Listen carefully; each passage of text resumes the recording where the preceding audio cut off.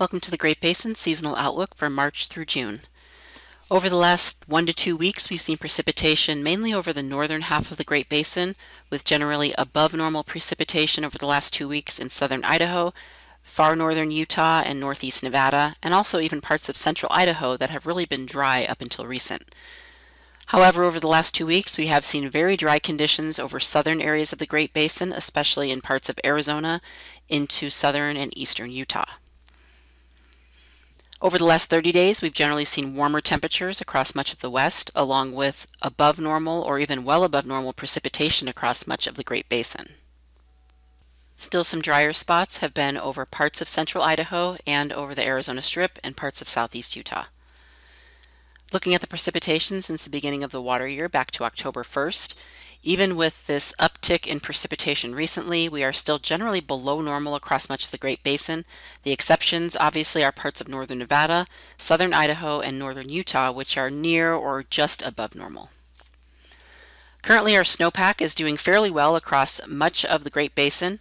Again, some of the drier spots are central Idaho, also western Nevada into the Sierra, which are still sitting about 60 to 70% of normal. However, we are starting the month with a very strong low pressure system and cold frontal system moving through the Great Basin, so we will see significant increases to the snowpack, especially in the Sierra, but still up towards central Idaho, we likely won't see as much precipitation as far north, but we will see some new additions to the snowpack. So looking at each area individually over western Nevada, these graphs will show the current water year precipitation, the current snowpack, and how it relates to normal, or the median. So looking at precipitation, so the liquid precipitation is in the red and the orange. So this indicates the orange bar is showing where the median or normal conditions would be, and the red line is showing where we are for 2024. So you can see in western Nevada, we are below normal with precipitation. And similarly, the snowpack, the lighter blue line shows the average snowpack, and the darker blue line shows where we are in 2024, again showing below normal conditions. In northeast Nevada, however, we are seeing just above normal precipitation and snowpack. Far southern Nevada, also above normal precipitation and snowpack, really well above normal snowpack for southern areas. For northern Utah, we are just above normal. And central Idaho, again, generally below normal for precipitation, but just below normal for snowpack. Wyoming, we're generally seeing also that below normal condition. And for southern Utah, we are showing above normal precipitation, but the snowpack is also above normal as well in parts of southern Utah. So now we will look at the state of the fuels. So first we will look at fine fuels.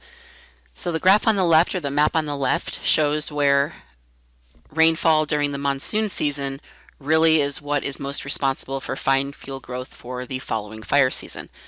So again, uh, looking at the map on the left, the areas in blue and green is where this monsoon rains are really most important. So parts of the southern half of Utah, eastern Utah, the Arizona Strip, and then some pieces of eastern Nevada really rely on that monsoon moisture for fine fuel growth.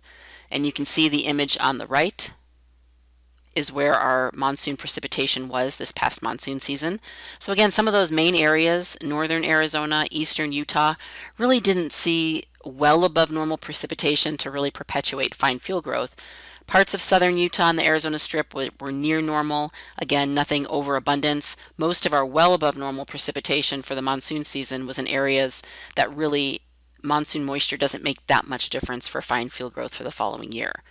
So now looking at where winter and spring rains matter the most, the image on the left shows the areas in orange and yellows and reds are really where winter and spring rains are more important than monsoon rains for fine fuel growth.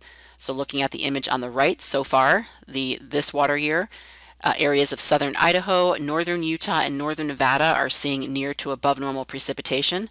And you can see from the map on the left, those areas are in those oranges and yellows. So really, they do rely on precipitation in the winter and spring for fine fuel growth. So as we continue the rest of the spring, we will continue to watch where these heavier areas of precipitation occur because again, this will generally dictate where we have new fine fuel growth heading into the fire season. So areas we'll continue to watch will be southern Idaho, northern and western Nevada and northern Utah for these spring rains as we are expecting precipitation to continue in some of these areas. Looking at our soil moisture, as of the end of February, we are seeing fairly high soil moisture across much of the Great Basin with the exception of the southern half of Utah, Arizona, and eastern Utah.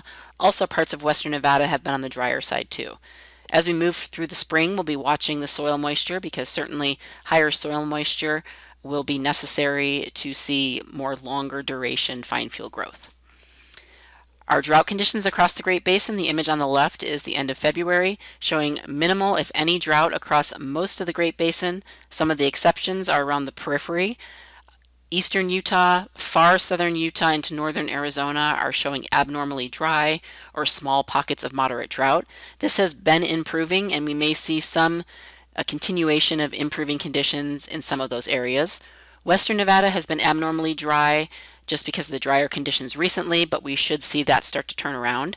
However, it's central Idaho where we have seen more consistent moderate drought develop, and this area likely won't see significant improvements to the snowpack as we move through the spring.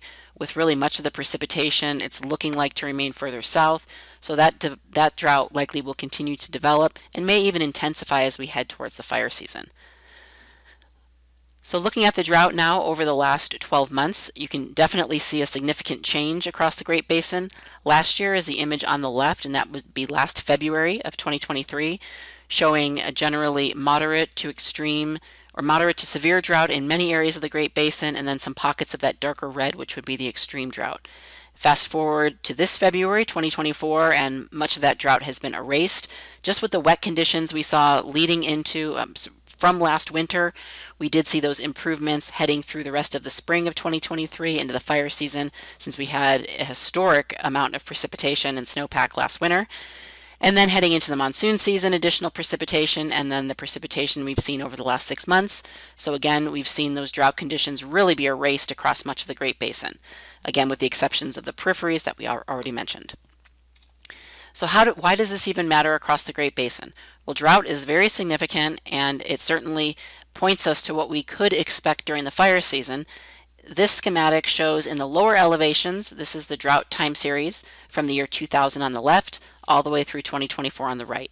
And you can easily see the periods where drought was more significant and then the periods where drought started to disappear and then return and you see this cyclical pattern that moves through.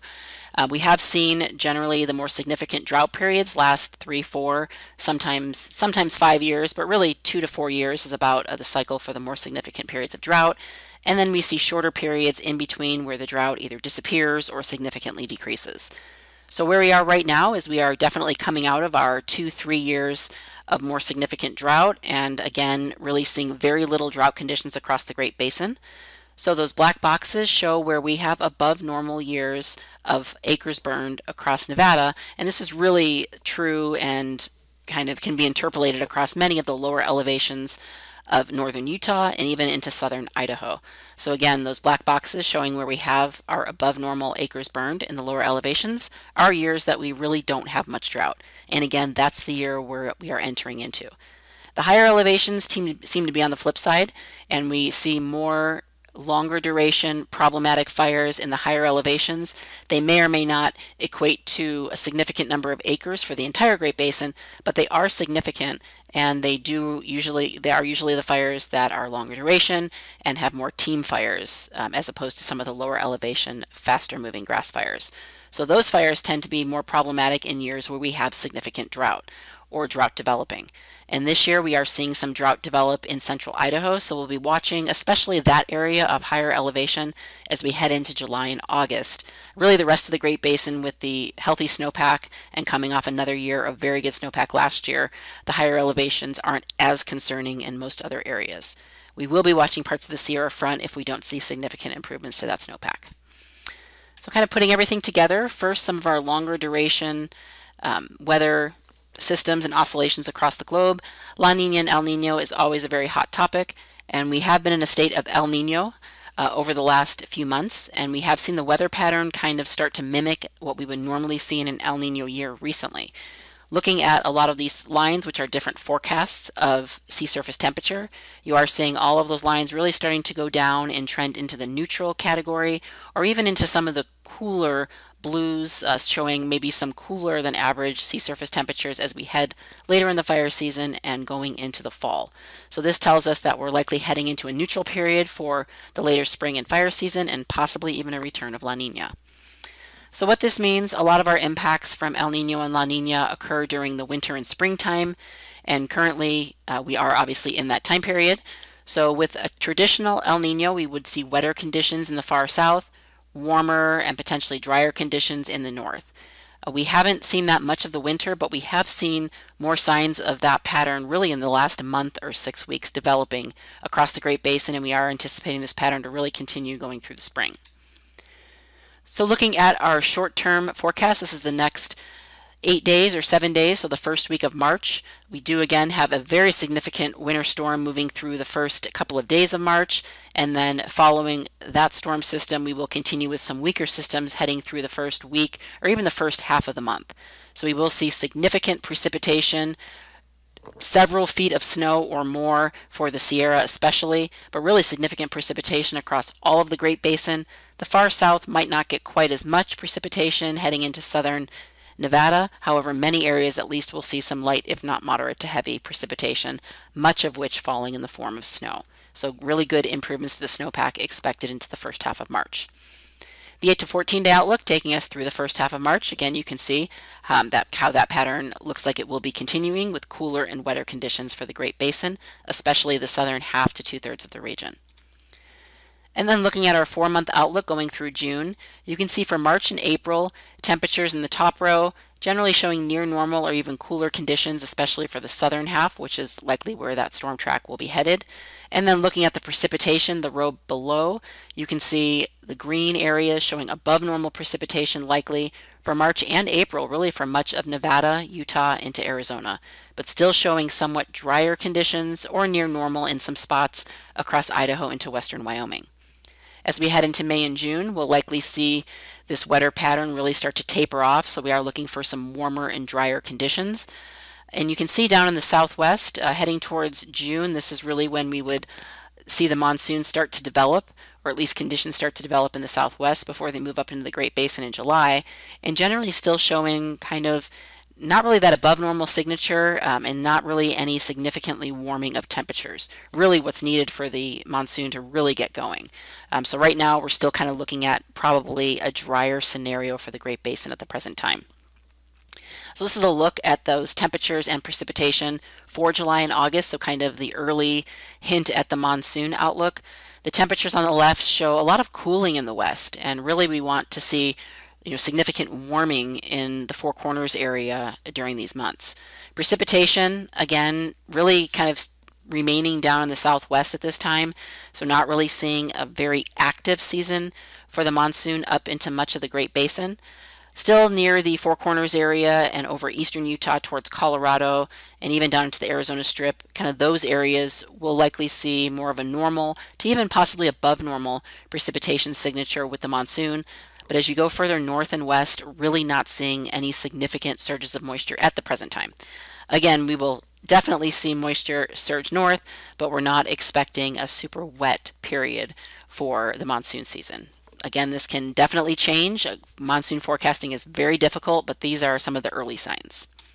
So putting everything together, the outlook only goes through June, so we're still looking at normal fire potential for the Great Basin. Areas we will continue to watch, which could show some signs of above normal fire potential by June, would be the lower elevations, again, anticipating a wetter spring, anticipating more significant fine fuel growth with no drought, more saturated soils. So we are looking for possibly above, above normal fine fuel loading for parts of the northern half of Nevada, northern Utah heading into southern Idaho. So those areas in June, we could start to see some above normal fire potential areas develop as we get closer to this time period, kind of watching that spring precipitation. Kind of further out past June is where we'll be looking up into central Idaho, so more likely later in July, August. For central Idaho, we could see some above normal there, depending on how the rest of the spring plays out with precipitation and snowpack. But again, a lot of the other higher elevation areas, not as much of a concern at the present time. We will watch the Sierra front. Uh, those areas in the foothills and the higher elevations could come into play going into July and August also if we don't see significant improvements to that snowpack. So that concludes our seasonal briefing for this month. Check back next month for the latest updates.